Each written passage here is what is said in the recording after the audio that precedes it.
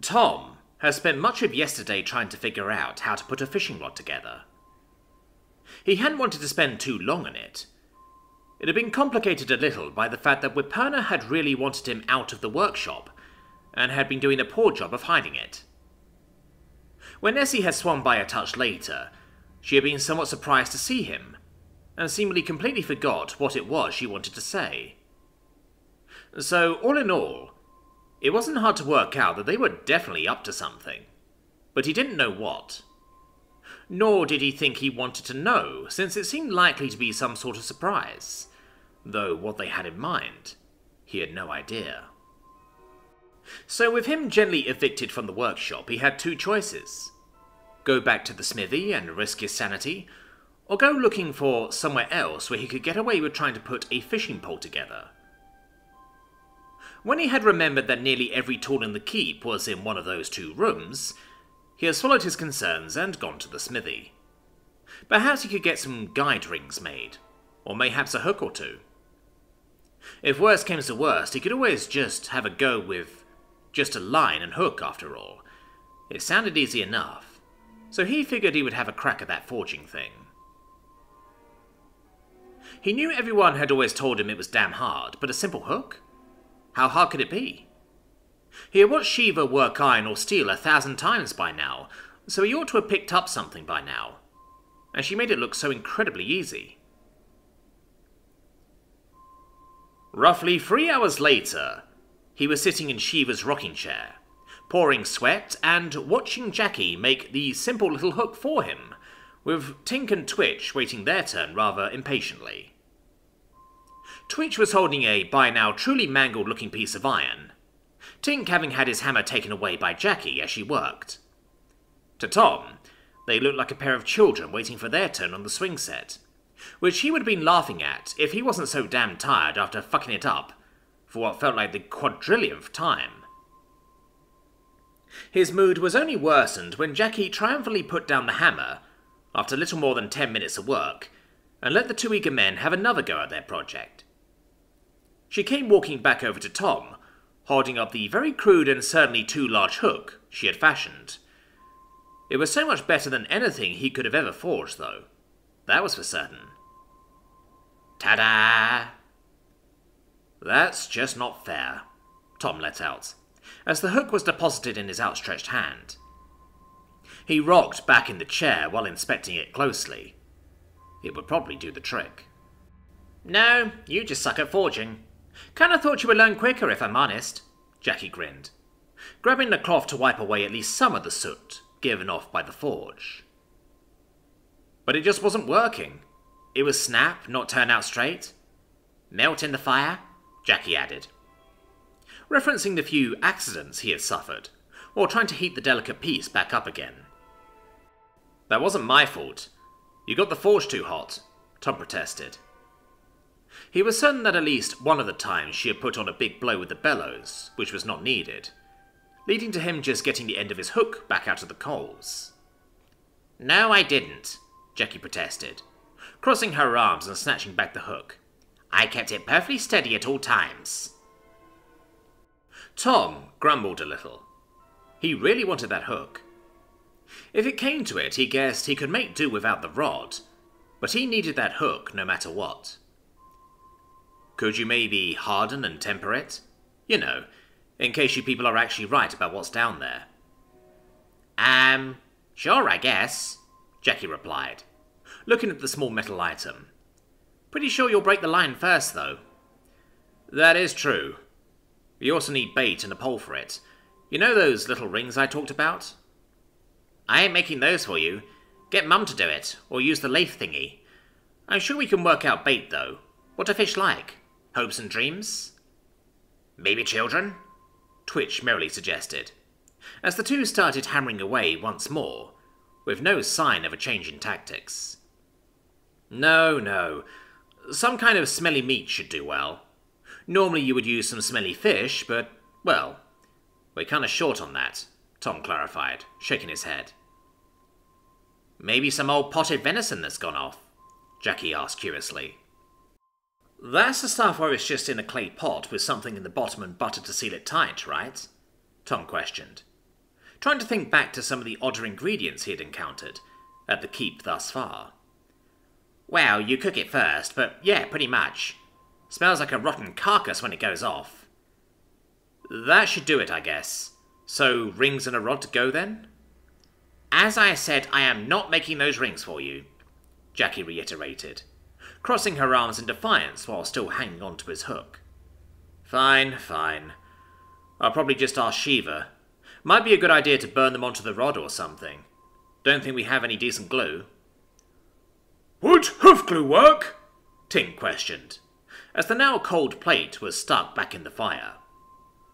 With a big yank, Twitch pulled on the bellows with reckless abandon, the coal spewing sparks and embers as they glowed nearly white at the centre.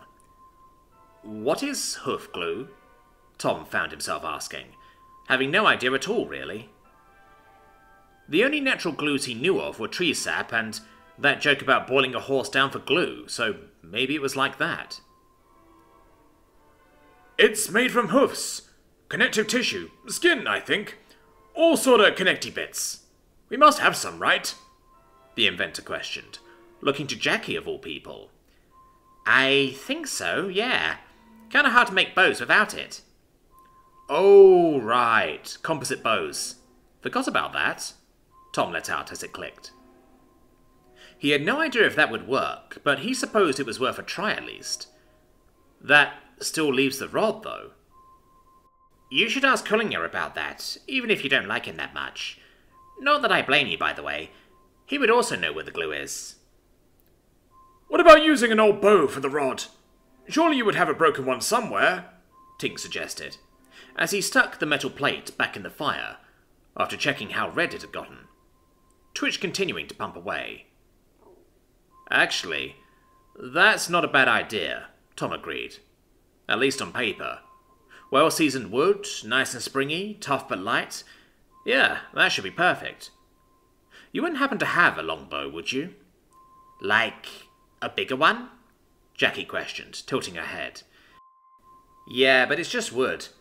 It would be taller than me, Tom went, holding up his hand to as high as he could, without getting up from the really rather comfy chair. No, she answered, a little unsurely. Why would you want a bigger one? I mean, I guess it could look cool. Long story, I guess. But a regular one will do, I think. Unstrung, it's sort of straight, I guess. I mean, not really, but I hate to break it to you. That's also Cullinger you want for that. Fine, fine. Do you know where he is? What would he even spend his day off on if he's not down here? Probably in his room praying or whittling away on something. Come on, let's check before those two cause a fire and it's our fault. Hey! I have worked here for months! Tink objected, looking up from his work. Not once have I caused a fire. Only minor explosions. Yeah, yeah, and that plate is going to melt soon. Even if it's just hot in the middle, Jackie retorted, as Tom got to his feet, finding himself pushed towards the door with a slap on the bum a snickering Jackie following him. Saf had gone to have a nap once they had finished in the library. She had just been so damn tired. Saf? You up still? Saf? Came a tired sounding call from outside her door. Who is it? Saf replied groggily, not actually wanting to wake up yet. Nor did she care if anyone could hear that fact. She didn't even know what time it was, but there wasn't any light peeking in anymore through the narrow windows. Fengi, can I come in? Sure. Didn't lock the door, I don't think. Sure enough, the sound of the latch sliding up was soon heard, followed by the door slowly creeping open. Saf turned around in bed to watch Fengi step inside, carrying a small oil wick lamp, closing the door behind her. Shouldn't you be sleeping? Saf questioned, peeking down the dark unlit hallway, the torches and lamps long since extinguished. Yeah, I should, Fengi replied, slack-eared in the dim light of the lamp. Her face was hard to make out, but she sounded ready to drop where she stood. That much was clear to Saf. I just... I was thinking. The young huntress didn't make it much further. seeming lost in thought or perhaps on the verge of falling asleep while standing. It was warm enough inside, so it at least shouldn't be the cold. Sit down, Fengi, please. There's a chair over there, Saf tried, pointing into the darkness. Thanks, was all the reply she got, as Fengi went to fetch the chair, scooting it across the floor to sit down next to Saf's bed with a long sigh. So, what is it? Saf, do you think your drill tried to kill us today? Uh, no? Was the best Saf could come up with. She wasn't even sure the dragon could. She's under orders not to. She can't break that. I don't know. Do you really think it was just a mistake? Seems a little far fetched. Even if she did try, she then saved us afterward. You weren't shouting any coherent orders as we slid, right? Mm, probably not, no. So she could just let us die then, right? If she meant to kill us to start with. I suppose it just felt off. How could she not know that would happen? She's an arrogant bastard who thinks she's invincible, and probably hasn't done honest work in decades, if not a century. Fair point, I suppose. What's got you thinking all this? Just some things she said. Mind you, she had a really shit day today. She managed to get under your skin with something she said? Saf countered, trying to sound disapproving. I suppose, Fengi admitted, ducking her head in shame. Oh, come on. Can't be that bad. What did she do? Make another threat? Tell you how dumb and stupid we all are around here? No. She begged. For what? A bath? Saf, she wanted me to let her kill herself. I said no. She begged me to tell her to keep her head under the water till it was all over. She, um, had a little snap, I think we can call it. The young huntress clarified, not sounding too convinced in her own reasoning. It was certainly clear where her foul mood stemmed from now. Right. Well, it's hardly surprising. This whole thing is supposed to be a worse punishment than death, or at least a more useful one for us, Saf replied, not sure what else to say. A had been bound to service, and she had to serve, or there would be hell to pay, most likely. Could we not aim for the latter of those two? I think being a slave till forever is bad enough, Fengi countered. Saf couldn't give much of a counter. In reality, she probably agreed with Fengi, but what more could they do? Fengi, Fen, we have treated her better than she has any right to. You have been better to her than pretty much anyone she could have hoped for. And she did ask for this, to put it fucking mildly. How is she now? Brooding, I guess. Had her laid down on the other side of the keep so Glira at least can't see her from her spot. Else she would probably be mocking her all night. Probably, yeah. Saf concurred with a nod. Got any plans for what to do? She did seem a little more... Well, maybe less shitty is the word earlier today when we were camping. Maybe she's just having to deal with emotions for the first time in a while. That or she's trying to guilt trip you into doing what she wants. I don't know, Saf. I just don't know. I'll just keep trying. With a little luck, maybe she'll stop hating at least someone around here. That sure would help. Doesn't matter who, just someone who's on her side, I guess. The easiest way to make someone open up to a person they dislike is to convince them you both stand together against something worse. Maiko then added from next to Sapphire, both women giving a start. Saf flipped around in the bed to look at the royal guard, who was just staring up into the ceiling without a care in the world. Like grunts against the officers, or children and mums against stingy dads. You were here the whole time? Saf demanded in a forced hushness, not wanting to wake anyone up in case they had gone to bed. I didn't feel like the floor, sorry, he replied with a dumb chuckle, turning to look Saf in the eyes. Have I ever told you how fierce you can look in the dim light? Enough to make my heart pound a little. Damn you and your magic, Saf grumbled, though she wasn't too mad. Not like he wasn't allowed in here after all, but he could have said something at least. She turned back around to look at Fengi, pushing up against him so she at least knew where he was. an arm reaching around her chest from behind, holding her gently. Sorry about that, Fengi. No, no, it's okay. I just forgot, that's all. The young copper dismissed, though clearly seeming a little uncertain about the situation. I wanted to just be quiet and let you talk, but I bet you five copper the easiest way to get her to trust someone is to give her an ally. Perhaps not you, though. Someone who can't actually do anything, but who agrees with her. Or at least pretends to. I guess so, yeah, Fengi responded, in a slow, pondering voice, silence hanging in the air for a moment after. Then she looked down at Saf, lamplight glinting off her white snout, eyes dim in the shadow cast up against the ceiling. Ah, don't you look at me, I'm not doing it, Saf countered, wanting to kill that thought dead before it could take off. You sort of did with Tom back when he arrived, Fengi tried, clearly looking to try and haggle here. Okay, first of all, we do not talk about that. Second of all, he's not an insufferable arsehole and a literal cold-blooded murderer. No, he's quite warm from what I hear, actually, Maiko added in from behind her, giving her a little squeeze. Very funny. I'm not doing it. Well, then who? Fengi questioned. Saf spinning just her head around to try and look at Maiko, which only sort of worked. The corporal shuffled down a bit towards the foot of the bed, sneaking in under her head, and pretending to not be there. Aren't you the guy Victoria used to do literally this?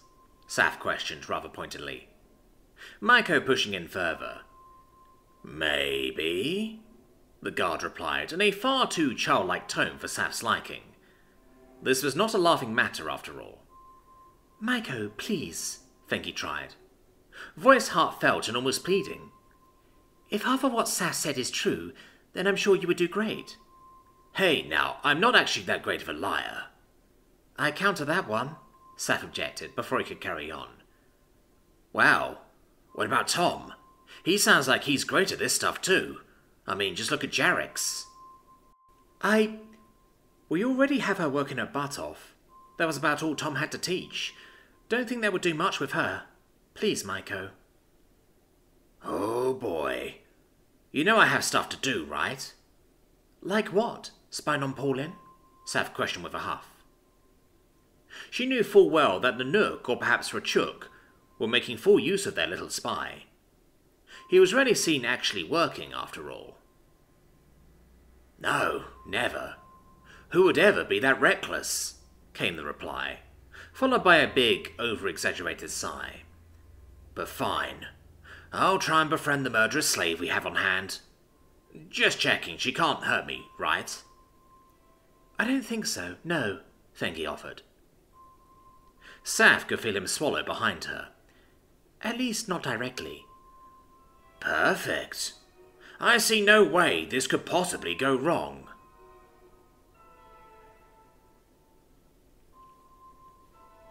Tom could feel as much as hear the wind howling over them. They were all trapped under what they called a dragon tent. Tom called it a tarp, and it was barely being held up by a few rickety poles. It didn't seal properly to the dragon's back either, but it broke the worst of the wind as they flew. Snow was getting in, and freezing cold air. The only heat they had came from some small metal and glass contraptions that looked a lot like a lantern, but were squatter. Thankfully, they were able to burn more oil than a normal lantern, even if they did make some soot. But with how cold they all were, no one cared. Tom had tried to move his arms and legs into a slightly more comfortable position, while he waited for himself to freeze to death, but they barely budged. Everyone except the Inquisitor himself was tied down tight. You can't trust the grip of a nice shard, he had said, with an almost evil grin as they were secured for that day's flight. Tom was happy he had done it, though. Or perhaps it was Jelena who had been so relieved after a patch of turbulent air had cost her footing. Leaving her hanging from the ropes alone, not that they let her slide far. He had lost all sense of time. The flight was supposed to be but a six hour hop, but that was before they encountered the storm. Neither Inquisitor Harvick nor Chaika seemed to care, simply letting the cadets know that it was going to get colder. And by the gods did his promise come true. Tom had ended up so cold, his, or more accurately Jelena's memory had started to lapse. First in blinks, then a bit longer. Soon he woke with a start, only to find the light bleeding through the tarp had gone. His whole world was reduced to the glow of the oil burners, the constant howl of wind, and the incessant flapping of the tarps they were hiding under. He could not move, and he felt like he could barely breathe or look around. It was claustrophobic, and his mind was so slow he could not even panic. Everything was cold, numbness, and deafening howling wind. No one was talking. No one bothered. He doubted he could even scream over the noise. He didn't have the strength. This must be what Dakota felt like back at the lake. Only drowning, too. When they set out, they had joked and jested about how bad could it be? They had the finest travelling clothes, thick, luxurious coats, hoods, even pants and foot covers. He couldn't really call them boots, but they were warm. They were lined with sheep wool and made from sturdy treated leather. He remembered a rainstorm they had faced shortly after departing the capital. It had barely fazed them. And here they were, a collection of barely breathing popsicles heading towards their new home. The fortress of Gaul Nouvelion. Ah, there we are. I was worried we missed it for a moment there, Chaika called out, seeming to take delight in the storm, banking into a downward spiral. Tom could not see anything, but maybe it would soon be over. Surely it would be warm inside. People lived here if only for three quarters of the year. A frozen bastion held by the Tika family, supposedly tough as an old pulling harness, but not crazy enough to stay through winter. They were apparently paid handsomely to guard the northern approaches, and provide a bastion where others may seek refuge, should it be needed. Tom had not even seen a painting of the god's forsaken place, but it had been described as a low, fat, round tower with a few stocky buildings sticking out from its base. No more than eight stories tall, not much for a keep, but it had walls as thick as any fortress ever built to keep the cold out. Tom once again started to lose track of time. They stayed in the turn for what felt like an eternity, the constant turbulence throwing them around like a toy an over 30 ton toy. And Chaika seemed to only grow more amused with herself as he came down for a landing. Suddenly they could see light, just a sliver, peeking out from under the tarp where it failed to seal. Then they came down, draconic feet setting down in the snow with claws hitting stone underneath. The wind kept howling despite them being on the ground, and slowly the dragon trudged forward towards the light. Tom could feel his heart in the top of his throat. It was over. They were going to get into the heat soon. They were not going to freeze to death. He just felt so relieved. Soon they could make out the clacking of winches working away, uh, as the light brightened enough that it almost started shining through the tarp. Willing his head to move, he looked around at the rest of the passengers. Glaz was lying next to him, with a dumb grin on her face. Best wake up in a hurry, cadet. You are on point, remember? He didn't even answer. He didn't even nod. He just stared at her and let out a tired grunt, head still resting upon the padded back of Chaika. He had forgotten about that, and he could feel Jelena had too. Her heart started to pump faster as the howling of the wind was replaced with a bustle of people outside, and the measured steps of the dragon. Light and heat rushed in faster and faster. His heart pounded until it was all he could hear. Jelena had to confront the lord of this keep, and Harvick had wanted it done as soon as possible. She was not fit to try something like that now. She needed rest, but would the Inquisitor care? He had not seen the sort to wait for others to keep up thus far. Do or die trying, had been uttered more than once upon this trip already. Used to win there? Glaz carried on. Tom hadn't even registered that she had been the one speaking. You're on, cadet. Get that shit off and run some laps of the hall to warm up. Harvick will not be left waiting. Understood. And that is all you will need, Dakota questioned, looking to Foe, as she and Lincosta did the final rounds. They had apparently gotten confirmation that Archion had indeed arrived in the capital yesterday evening, after a rather lengthy detour around a storm had added another two days to the trip. But they had landed safe and sound.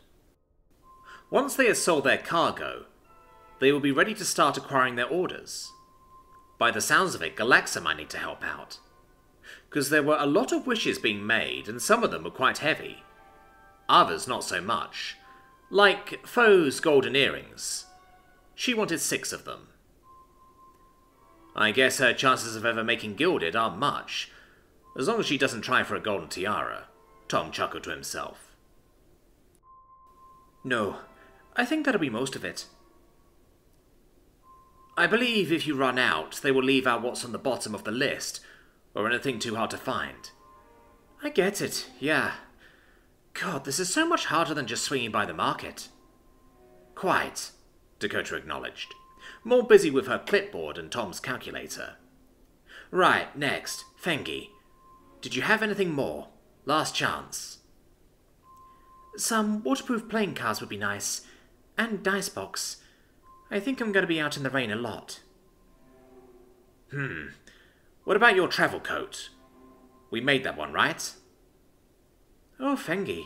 What about some more proper all-weather gear like the traders have? Bo added in, seeming quite enthused by the idea. Not a half bad idea, Dakota agreed, seeming to ponder for a moment. I suppose so, Fengi said cautiously. Seth knew well enough what stuff like that tended to cost.